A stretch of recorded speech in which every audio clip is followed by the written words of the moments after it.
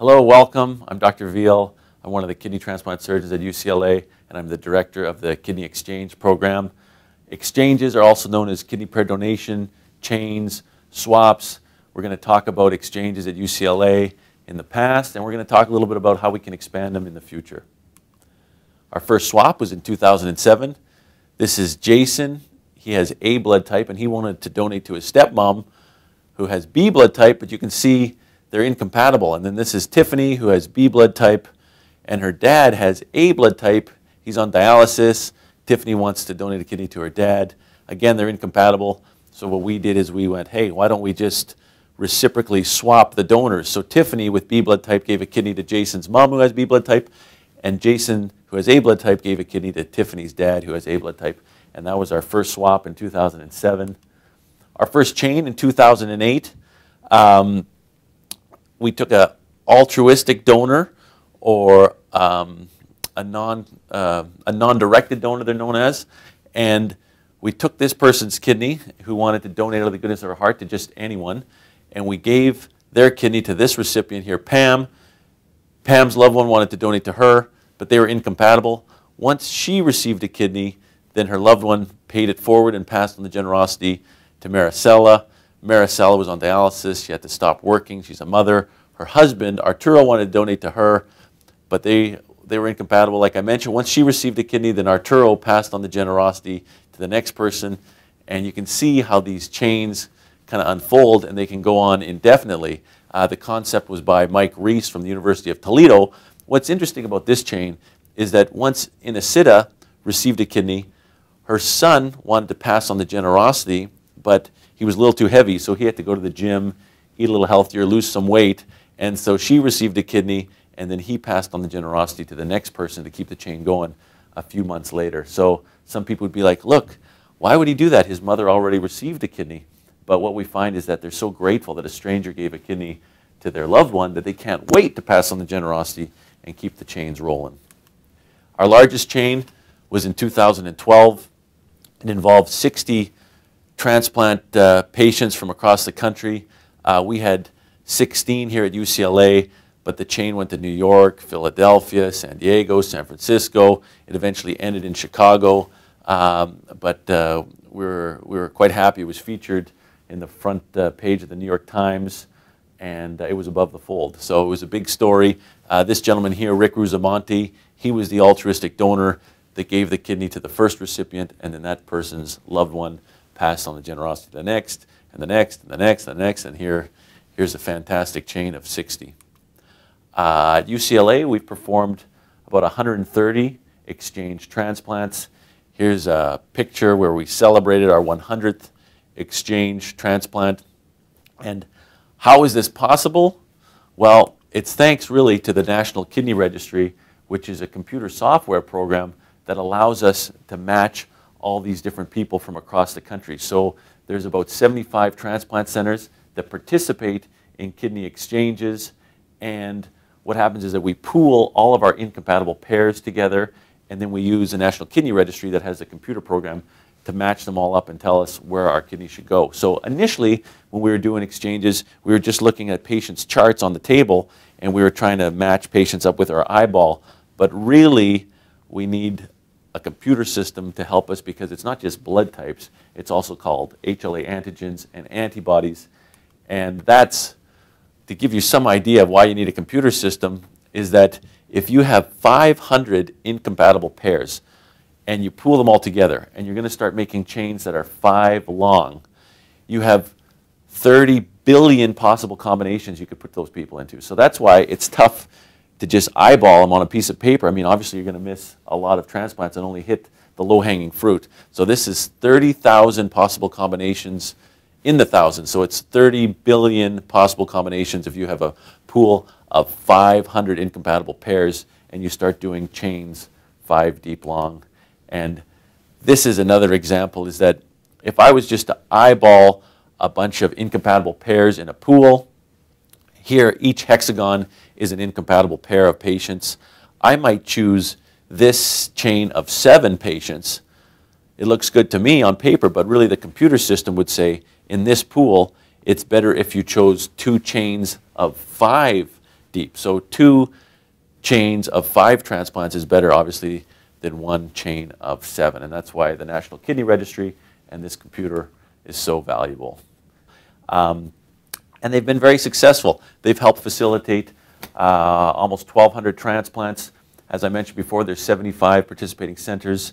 Uh, 922 of these transplants through exchanges, because they're going from center to center, so I might go from Cornell to, say, UCLA, have been shipped.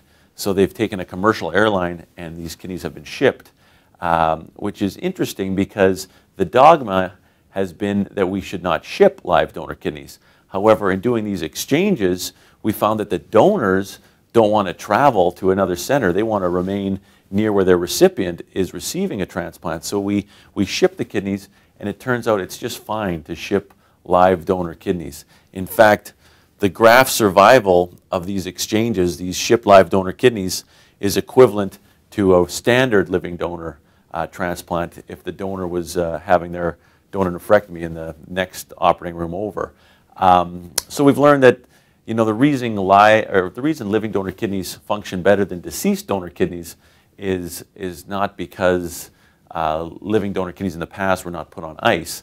They function better because uh, they're coming from people who are alive and physiologically stable, where a deceased donor, you know, unfortunately has been tragically uh, killed, maybe in a, a, motor vehicle accident, might have had a low blood pressure, low oxygen, and so on. Um, so 80% of the kidneys were shipped, majority on commercial airlines. 30% uh, of the recipients were highly sensitized, so that means they had antibodies uh, to 80% of the population. And this is uh, something I'm very proud of, and the National Kidney Registry is proud of, is that 17% of the patients had a PRA over 95%. What that means is that these people had antibodies to 95% of the population. So these are the people who, even though they have a willing donor, they're very difficult to transplant. They're very hard to match. They've often had previous transplants, lots of blood transfusions, maybe pregnancies. They've been exposed to a lot of different people's proteins, so they have a lot of antibodies. And these are the people that tend to wait on dialysis uh, and unfortunately die on dialysis while they wait for a kidney transplant. So the fact that the National Kidney Registry has been able to transplant approximately 200 of these patients um, uh, is fantastic. All right, what are some expansion opportunities in exchanges? Well, we can actually enroll compatible pairs.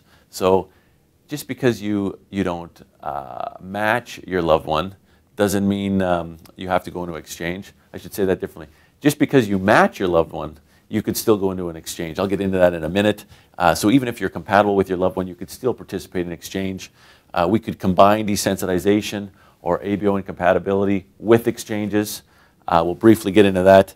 We can expand altruistic donation, and we could trigger chains with deceased donors. So we don't just need to trigger these chains with an altruistic donor. We could potentially trigger these chains with a deceased donor, and we'll get into that in a minute. Uh, what do I mean by enrolling compatible pairs? It means, let's say my wife is on dialysis. She's not, but let's just say she was, and I want to donate a kidney to her. Maybe I do match my wife. However, if we participate in a chain or an exchange, maybe my wife will get a younger kidney or a bigger kidney or a better match kidney. So per, by participating in an exchange, you might, the recipient might get a, a higher quality kidney. Uh, this is a compatible pair that we transplanted as part of a chain. She actually could have donated a kidney to her husband. Uh, however, um, uh, he received a kidney from this lady as part of a chain, and she went on and passed on the generosity to another person. And uh, they actually did it just because she wanted to help out more than one person. Uh, she wanted to help out her husband and hopefully unlock someone and give someone else a chance. So she really helped out two people, and that was their motivation uh, for participating in a chain, although they were compatible. There's been a lot of different papers that have been published on this. Uh, this is one by uh, Lloyd Ratner, Dorry Segev, Adam Bingaman. They all say that by enrolling compatible pairs, you expand the pool, particularly with O blood type donors. And it's the O blood type donors that really drive the system because they can donate a kidney essentially to anyone. And so by getting more and more of these O blood type donors through compatible pairs, you can do a lot more chains and exchanges.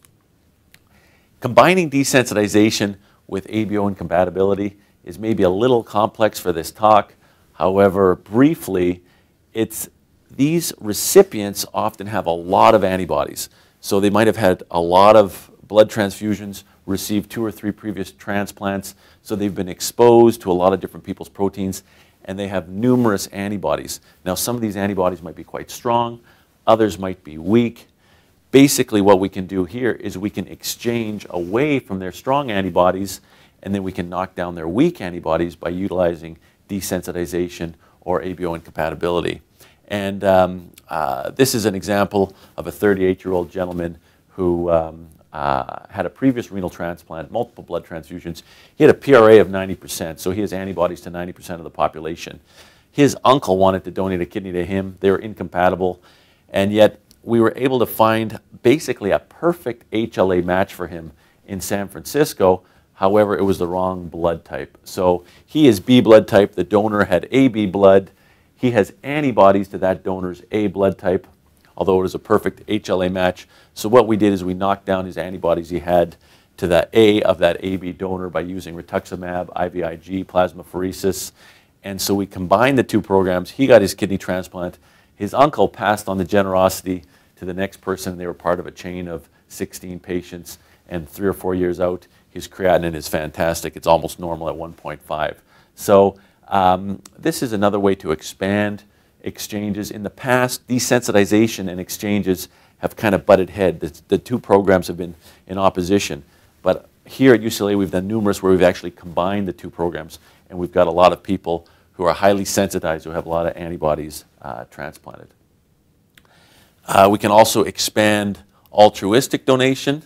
If you're wondering what altruistic donors look like, or non-directed donors, this is what they look like. They look just like you and me. Uh, they're fantastic people. I've gotten a chance over the years to get to know these people. Um, here we are uh, kind of celebrating their uh, generosity as they all donated a kidney to a stranger uh, for no benefit to themselves, and they had no recipient in mind. They just said basically, you know, I just want to help someone else who could use my kidney. I have two kidneys, I only need one. And um, the nice thing is, is that with laparoscopic surgery, it's kind of changed the donor operation. In the past, it used to be quite a large incision that we would take out a rib. Now, laparoscopically, it's a very small incision called a Pfannenstiel or, or bikini line incision, and most of the donors leave hospital the next day as opposed to being in hospital for a week or 10 days. But uh, by removing disincentives to donation, we could potentially have more and more altruistic donors come forward because some have said it costs as much as $6,000 to donate your kidney. So not only are you donating a kidney, but you have to pay $6,000 roughly because you've had to take time off work, so you've lost some of your wages, you've maybe paid for your flight, your hotel, and so on and so forth. So if we could remove some of those disincentives by uh, you know, putting them up in a hotel, paying for their, their flight, um, maybe reimbursing their lost wages, I think more and more altruistic donors would come forward, and we could trigger more and more chains. Now, we don't just need an altruistic donor to trigger chains. We could also trigger chains with a deceased donor. So up to this point, uh, we've always utilized an altruistic donor who gives a kidney to a recipient who has an incompatible donor. Once the recipient receives a kidney, their loved one then passes on the generosity to the next person, and that person's loved one then passes on the generosity to the next person. However, we could potentially use a deceased donor. So for example, let's say this is an 18-year-old who tragically died in a, in a motorcycle accident. That kidney we could give to this 30-year-old male whose maybe mom wanted to donate to him, but they were incompatible. Once he receives a kidney, his mother could pass on the generosity to this lady here who was incompatible with her husband. And then the husband could actually close the chain and donate a kidney to this person who's on the waiting list who should have received this kidney. Now, it's a win-win because we've taken this valuable commodity of a deceased donor kidney and expanded it by 200%.